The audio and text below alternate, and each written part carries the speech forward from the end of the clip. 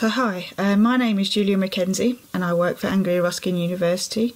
Um, I'm going to talk today about research conducted in Cambridge University Botanic Garden, specifically research on blue tits and great tits and their trials and tribulations in raising a brood in a large urban habitat. This research has been done in collaboration with Nancy Harrison, also from Anglia Ruskin University, and Shelley Hinsley from the Centre of Ecology and Hydrology.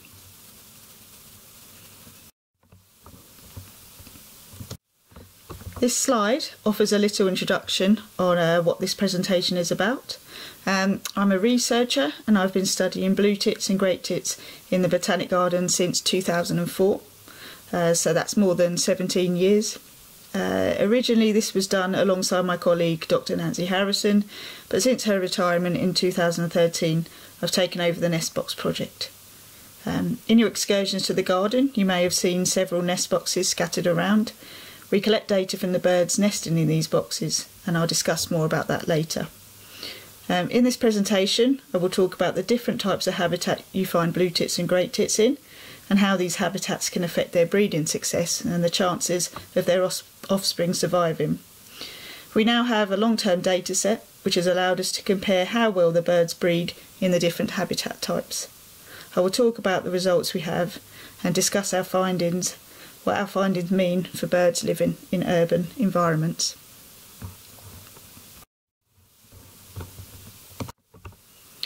So first off, I will introduce the two species of birds that I am so familiar with and that I'm sure for many of you who have bird feeders up in your gardens would also be familiar with.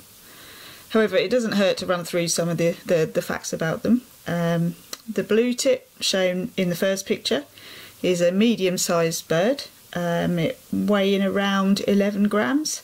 It's a feisty little bird with a distinctive bright blue head, uh, wings and tail, has a black eye stripe and a yellow belly. It can often be seen in the spring, flitting about in pairs, calling to each other whilst foraging in the tree canopy for insects. It commonly hangs from trees, unlike the great tit, who, um, being more heavy and being less able to flex their legs, is better suited to standing in trees. The great tit in the picture um, on the right is the UK's largest tit. It is green and a yellow bird with a striking glossy black head. It has white cheeks. In the spring, it has a distinctive two-syllable song um, that can be heard from the male defending his territory. It kind of goes teacher, teacher, teacher. Males and females can be told apart by looking at the black belly stripe. Males have a thick belly stripe compared to the thin, often broken looking and drab female belly stripe. The great tit can be quite an aggressive bird at the bird table, fighting off the smaller tits, and in winter it joins with blue tits and others to form these roaming flocks which scour gardens and countryside for food. Both species eat a diet of insects, uh, seeds and nuts, and both nest in holes, and they readily take to human-made nest boxes. So I'm just going to show you a couple of videos of the birds so you can see. Um, so in this first footage, you can see a blue tit collecting nest material, and, uh, and then she goes off to feed the nestlings. Um, the bird in the footage is quite drab in colour, so it's most likely a female.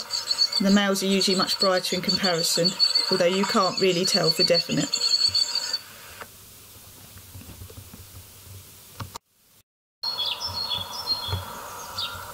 And in this video, we have one of the great tit. Um, in this footage uh, you can see a male with a large caterpillar in his mouth. You can tell that he was a male because he had a, a big belly stripe. Um, here we have the female. Um, she has a much thinner belly stripe you can see. She's here just collecting nest material from a tennis ball. Um,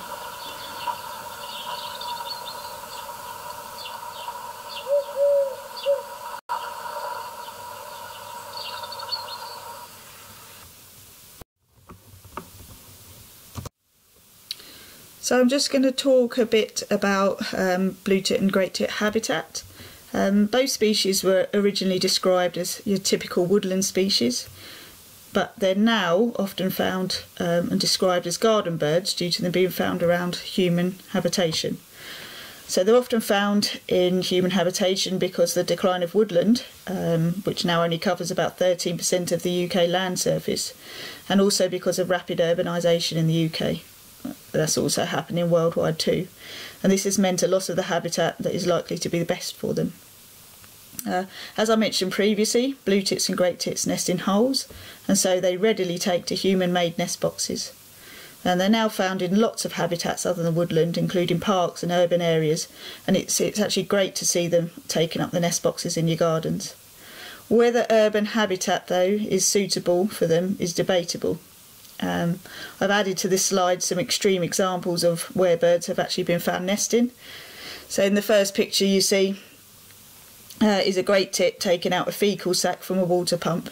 Um, just as an aside, a, a faecal sac is like a membrane that surrounds the, the poo of a nestling and it allows the parent birds to, to take it out of the nest and take it far away to keep the, the nest clean. Um, and in the second picture, you see a blue tit and it's about to enter the nest it's made inside a cigarette bin. Now these were, I think, originally published on the on the Springwatch site a few years ago, and it was a kind of a, like a jovial piece.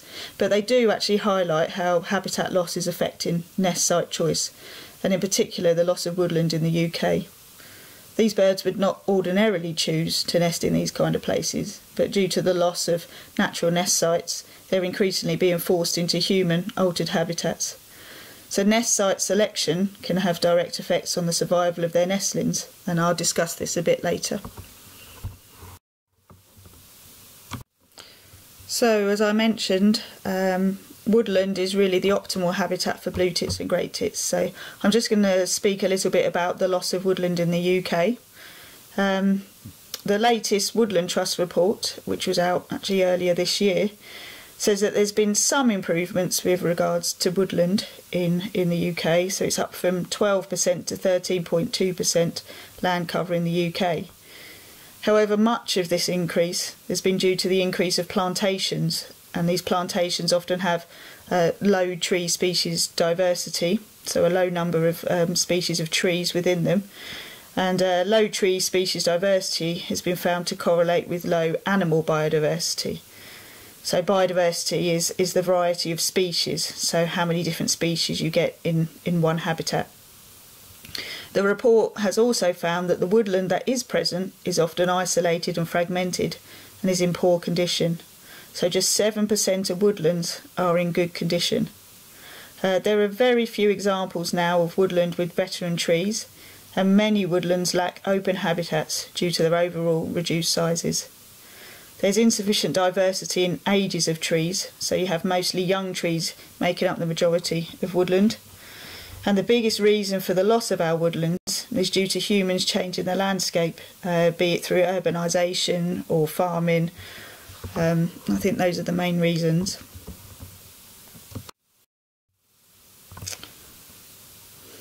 So, alongside humans uh, changing the landscape, species biodiversity has been in decline. Uh, this figure that you see in the slide was taken from a report in 2004 uh, by the IUCN and shows that habitat loss and degradation is a major cause of bird extinction throughout the world. Um, so this is a direct consequence of increased human activity and links to the loss of woodland habitat in the UK. The paper that I've mentioned on the bottom of this slide uh, by Sia and colleagues, um, although it's over 20 years old now, it's still very relevant today and is still cited by many scientists. They reviewed the results of a conference held in Helsinki about habitat loss. They discussed the different approaches to studying habitat loss, for example, genetic and ecological approaches, and how severe habitat loss and could become and also its impact on biodiversity. They also reviewed ways to prevent its effects.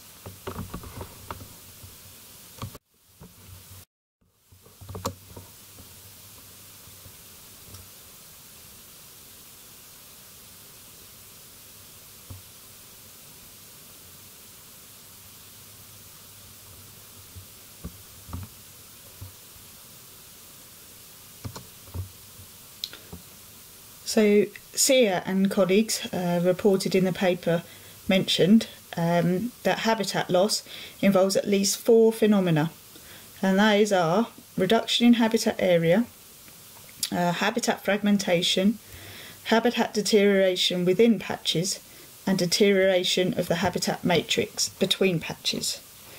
So I have an example image here of a typical UK landscape uh, with areas of woodland surrounded by farmland. Um, taken Sear and his colleagues' example of these four phenomena, I'm going to apply them to this image. So the first phenomena is reduction in habitat area, and in the image this would be shown by the reduced sizes of the woodland patches compared to the larger woodland patch. So you've got a small woodland patch here, a small woodland patch here, small woodland patch here, and then this larger woodland patch here. The second phenomena was habitat fragmentation. So in this in the image, this is demonstrated by the woodland areas not being joined and, and being quite small, and so populations may either become isolated or have to travel long distances to find food, increasing costs to their survival. This could be due to increased energy expenditure, or they may be vulnerable to predators such as birds of prey while in open areas. The third ph phenomena mentioned was habitat deterioration within the patches. So this refers to the quality of the plants and animal prey available within the patches, which may no longer be suitable food for certain species of animals. I'll come on to this later. The final ph phenomena is deterioration of the habitat matrix. So this is linked to fragmentation and isolation of populations, but basically refers to there not being a link between two suitable habitats due to the area between the suitable habitats.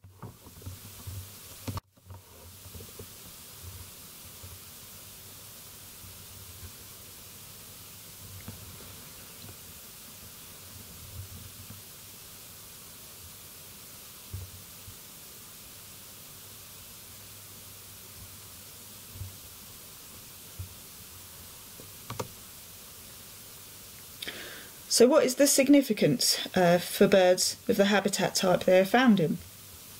Well, the type of habitat can have a positive or negative effect on reproductive performance, which basically measures how successful a pair of birds are in raising their offspring. The good quality habitat, for example, will produce good quality nestlings because the parent birds are able to find the food that is needed to raise their offspring. Reproductive performance of birds is usually assessed by measuring a number of, variable, of variables, which I'll run through now. So the first, uh, the first measure mentioned in this slide is clutch size. So that's basically how many eggs a bird lays. In the case of blue tits, it can vary from around uh, 8 eggs to, to, to 14 eggs.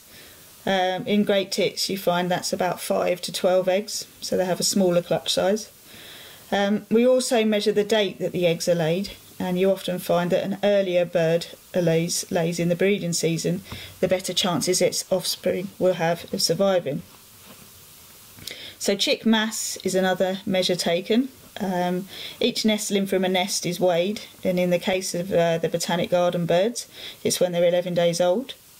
Uh, for the purposes of analysis, an average of the weight of each individual in a brood or nest is made. The average weight of a nestling per brood is a good measure of future survival, um, with nestlings that have low weights being less likely to survive. So even if a chick fledges from the nest, if they fledge with a low weight, their chances of survival are low. So another measure is brood biomass, uh, which is all of the individual weights of each nestling in a brood or nest added together. Uh, then we have another um, parameter which is number fledging and this is a measure of how many offspring leave the nest. This is measured by checking the nests after the breeding season to see if any nestlings didn't make it.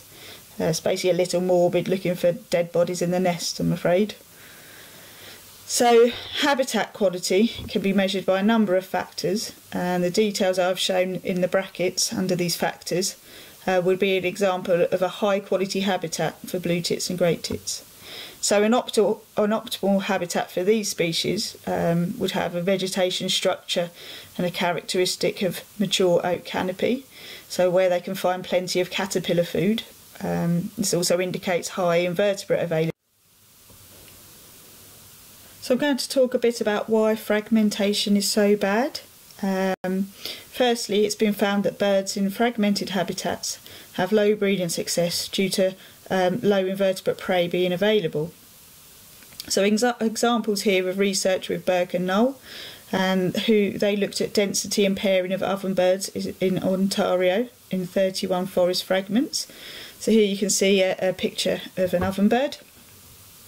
Uh, they showed that the males chose their territories uh, depending on the prey biomass, so the total weight of insect food, which and they found that the higher the better. Prey bi biomass was 10 to 36 times higher in large woods.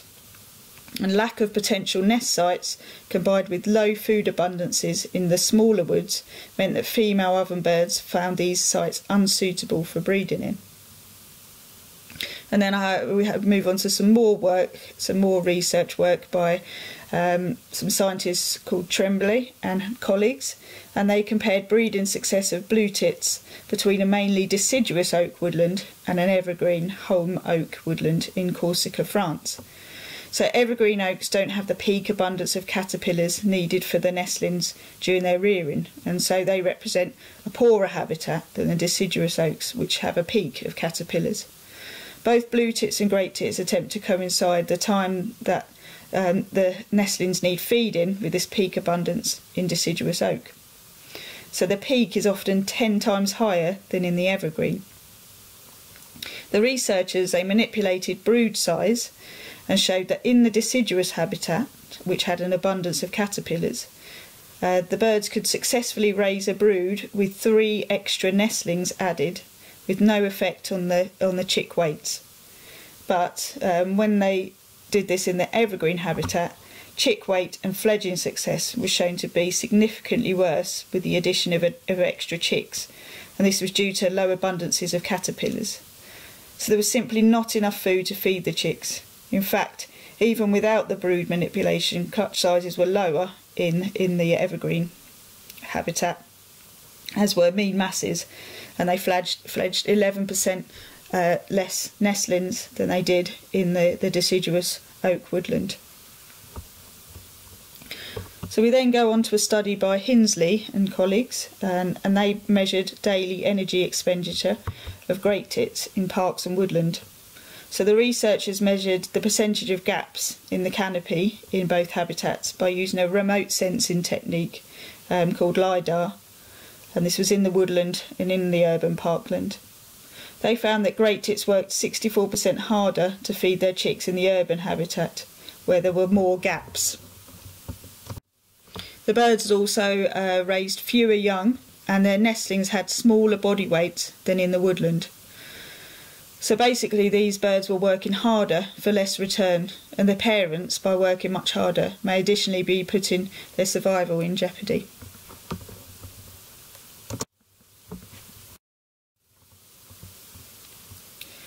So I'm now going to talk about habitat deterioration within patches, another one of Sear and colleagues' four phenomena, specifically in relation to urban parks and gardens.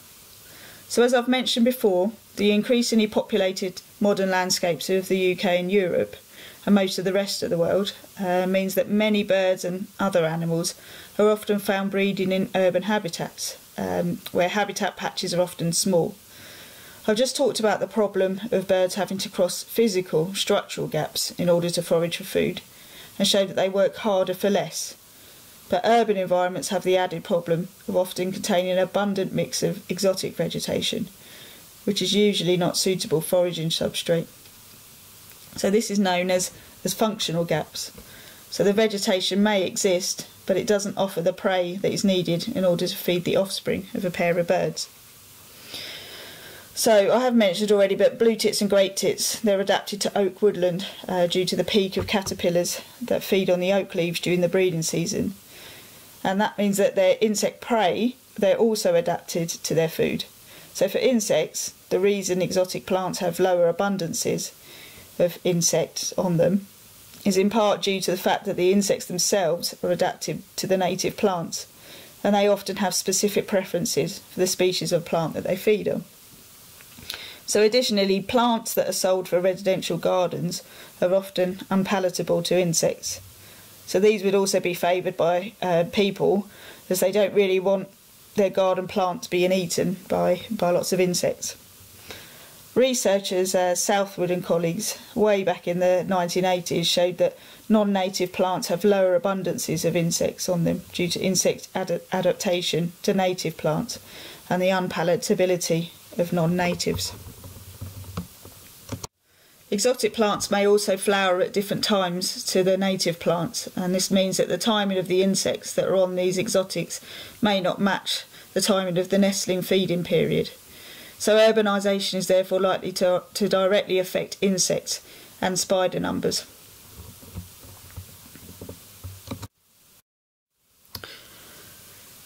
So now on to this study. Um, and this study compared breeding success in blue tits and great tits across habitats of differing quality. Um, although these birds are classified as least concern on the IUCN Red List, assessing how their reproductive behaviour differs in different habitats can offer insights into how to manage more vulnerable bird species. So it's also important to, keep track of the, the so-called more common birds uh, to monitor any population changes as well. So this study compared um, four different habitat types. So they were large and small wood, and the data was provided by Shelley Hinsley from the Centre of Ecology and Hydrology. Also, um, her large woods were Brampton, and there were 22 boxes there, and Wennington Woods, uh, which was 36 boxes. And then there were a number of small woods, um, and there's approximately 36 small woods up to 1.39 hectares in size, with a total of 56 boxes in Cambridgeshire and Lincolnshire. And we have Wicken Fen, and there were 55 boxes with the National Trust, um, boxes owned by the Bird Ringing Group.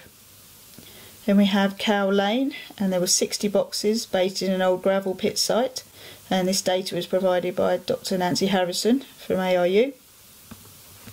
So both sites, the Wicken Fen and the Cow Lane, contain a mixture of reed bed, grassland and willows and a kind of marginal scrubby habitats with structural gaps, uh, but with an abund abundance of native flora in them. And then we come on to the, the Botanic Gardens, and this is a large urban landscape garden owned by Cambridge University uh, it contains over 10,000 labelled plant species and it has an abundance of exotic plants, which is nearly double the amount of the native flora.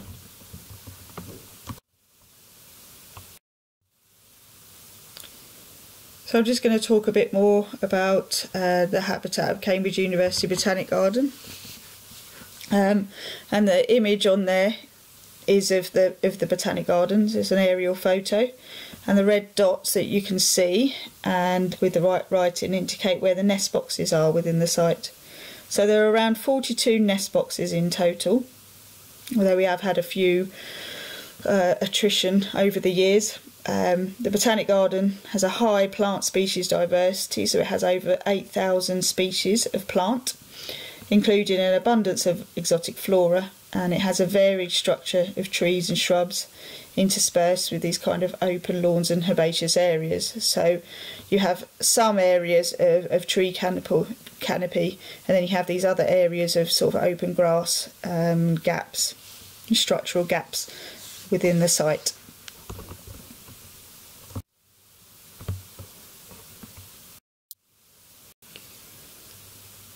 So, to measure breeding perform performance of the birds at the different sites, Nest boxes are inspected from around the 1st of April. Uh, we look for signs that the nests are being built and once built the female will start laying eggs. Um, we make a note of when the first egg is laid and assume that she lays one egg a day until she's finished her whole clutch. So for example, if you come across a nest with three eggs, you would work backwards to calculate that the first egg was laid two days previously. So blue tit and great tit eggs look very similar but are slightly different sizes.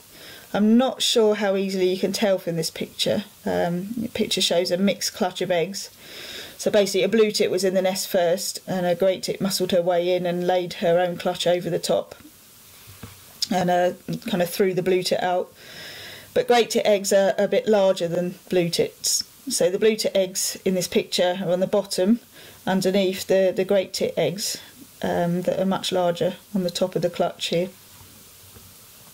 So clutch size is, is then recorded and a reminder that clutch size refers to the total number of eggs that an individual lays in one breeding attempt.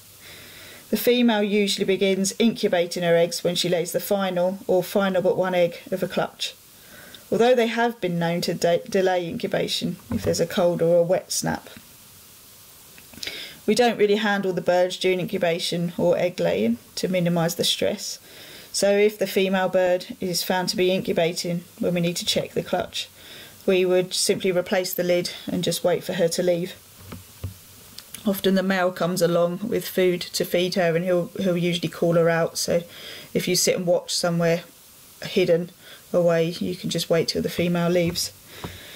Um, Hatching date is estimated as, as 14 days after the female has laid the last egg, um, but the nests are usually checked about two days prior to this to ensure accurate dates. We then know exactly when the nestlings have hatched, and so we can determine their age and when they need to be ringed and weighed. So this takes place when they're 11 days old.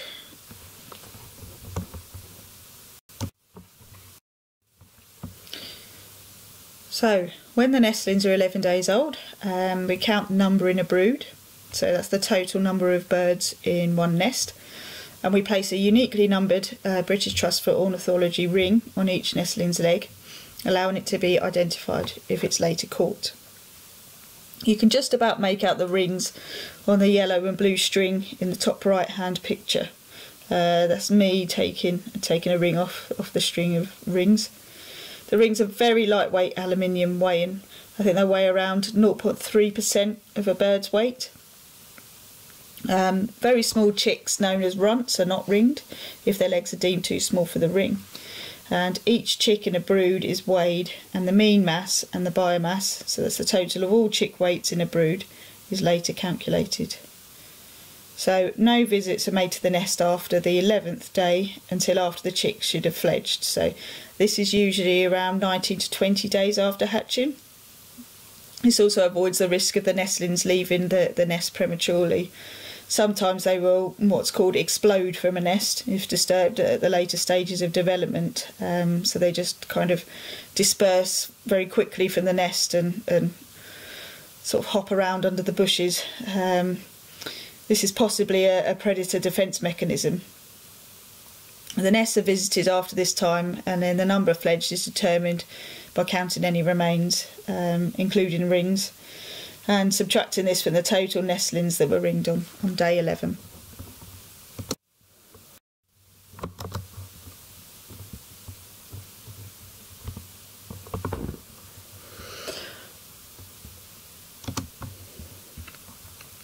And so to the results, um, I applied a series of different statistical modelling on the data that we collected to analyse the breeding success of blue tits and great tits in the, the botanic gardens compared to the other habitat types.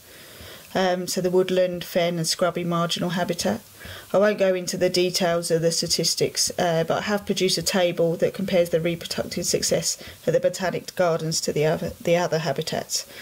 Um, so basically the models compare the different reproductive parameters. So we've got them up here. So we've got egg date, uh, clutch size, mean chick mass, we've got chick biomass, and we've got fledging success. So that's the percentage of eggs um, that, that made it to fledge. And then we've also got the species over here. So we've got blue tit and we've got great tit, and these are the different sites. We've got Cow Lane, Wicken Fen, Small Woods, Brampton Wood, and Wennington Wood and then we've got them all compared um, to the Botanic Gardens, which is up here. Um, so for egg date, um, and a reminder that the birds that lay earlier often do better, having larger clutches and higher quality offspring. It's also been argued that early laying is an indication of better quality habitat. So the blue tits and great tits differ in their laying in the botanic gardens. So great tits actually laid earlier in the garden than at all sites, but the blue tits mainly laid later in the garden. Um, so early laying in urban environments has been found for other species of birds, um, but it's not really clear why. or why blue tits and great tits differ in this study. So, so some possibilities uh, include the warmer weather in urban environments, and this might um, cause earlier bud bursts of plants and hence earlier caterpillars um, available. And also feeding from bird feeders may allow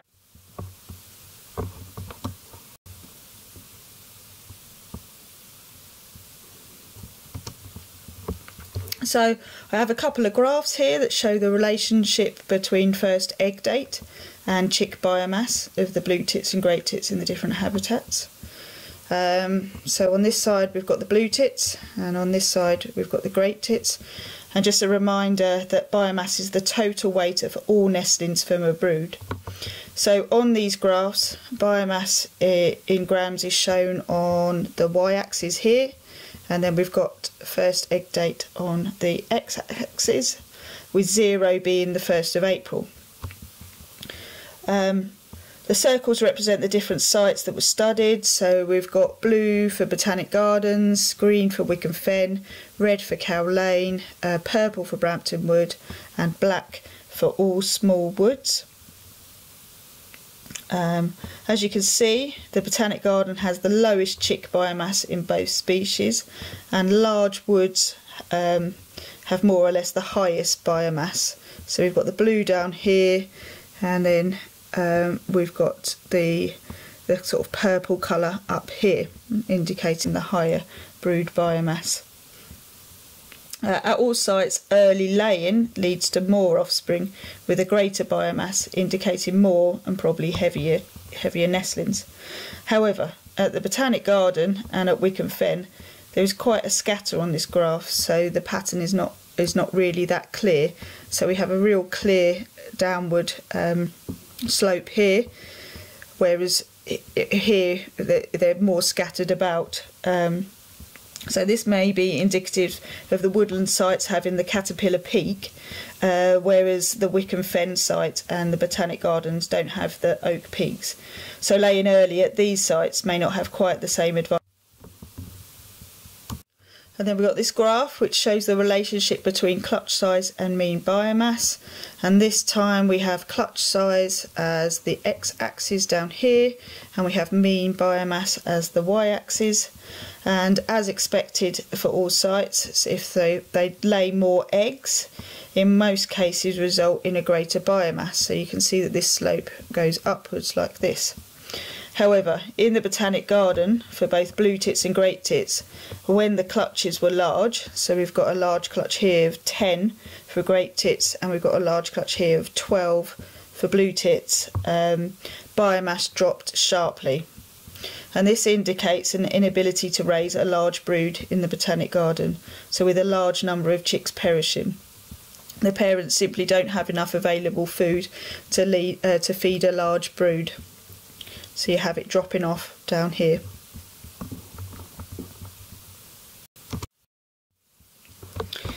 So on this graph uh, you see the relationship between clutch size and mean weight per brood. So you have again clutch size here on the x-axis and the mean weight along here on the y-axis.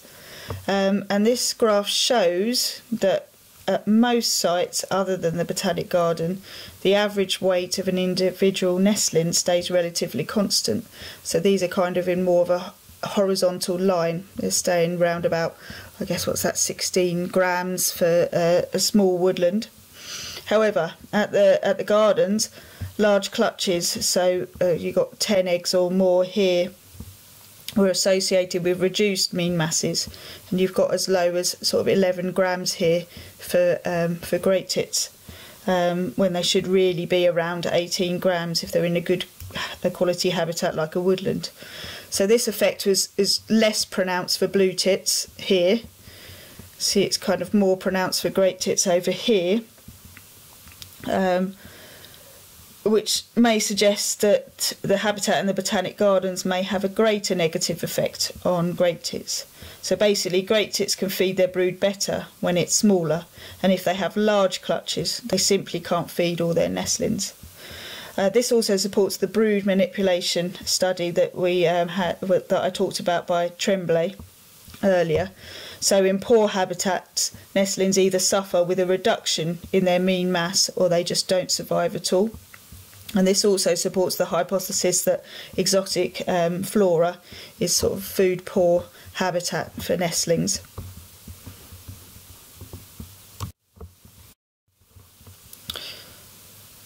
So blue tits may be more successful than great tits at raising a brood in the botanic gardens, uh, with their nestlings being a more consistent weight. Uh, if you see from these pictures, it shows um, two great tits, at, both at the same age, so they're both 11 days old. Uh, the small one here shows a great tit at the Botanic Gardens, and the larger great tit here is um, one from Wicken Fen. And as I said previously, mean mass of, of chicks is a good indicator of future survival, with those with greater weights being more likely to survive. Therefore, although this chick at the, the Botanic Garden here has survived up until 11 days old, it's unlikely to survive to full adulthood.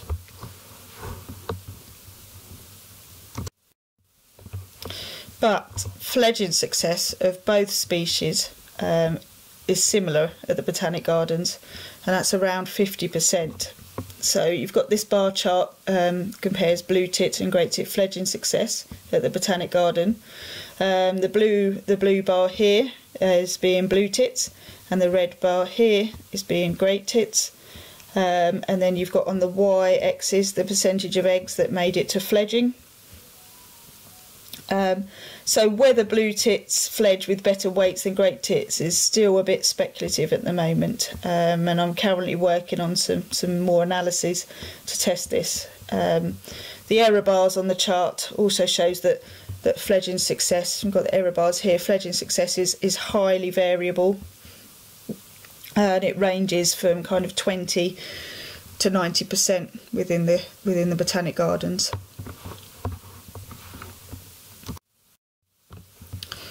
So what do all these findings mean? Um, well, basically, blue tits and great tits at the Botanic Gardens had poorer reproductive success when compared to the marginal habitat of Wicken Fen, and to a lesser extent the Cowlane and, and small woods. So they had lower clutches, they had lighter chicks, um, lower broods, and lower fledging success than at Wicken Fen.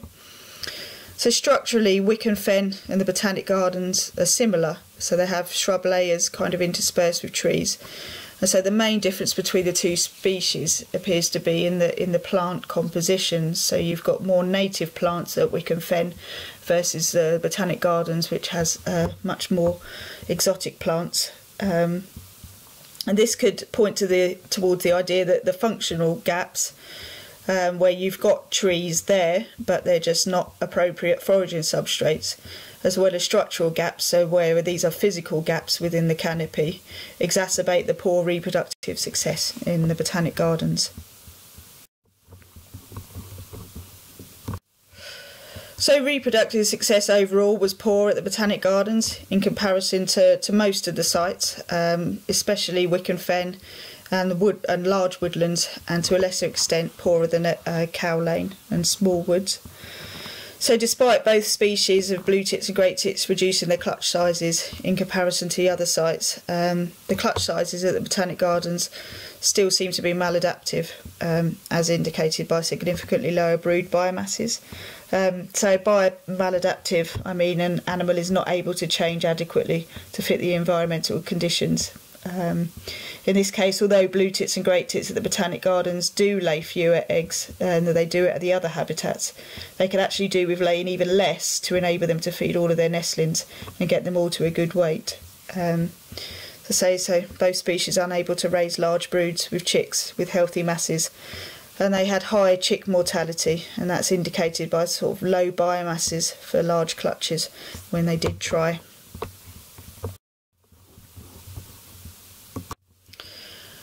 So, blue tits may perform slightly better than great tits at the Botanic Gardens, um, with the nestlings having greater um, mean masses and maybe a greater likelihood of survival and recruitment.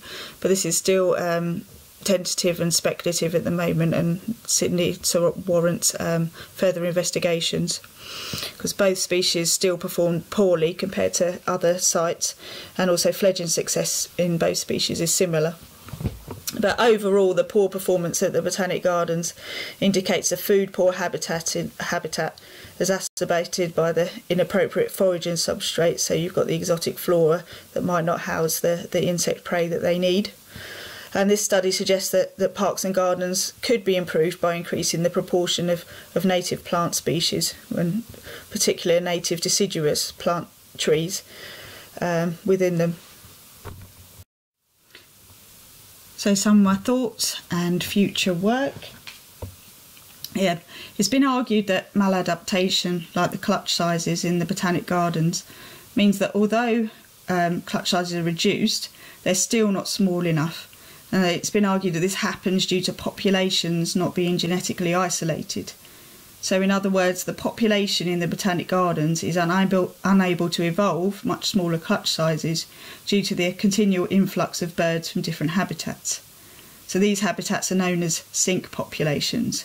These are populations that can only be sustained from immigration from better quality habit, habitats, known as source habitats, such as deciduous woodland.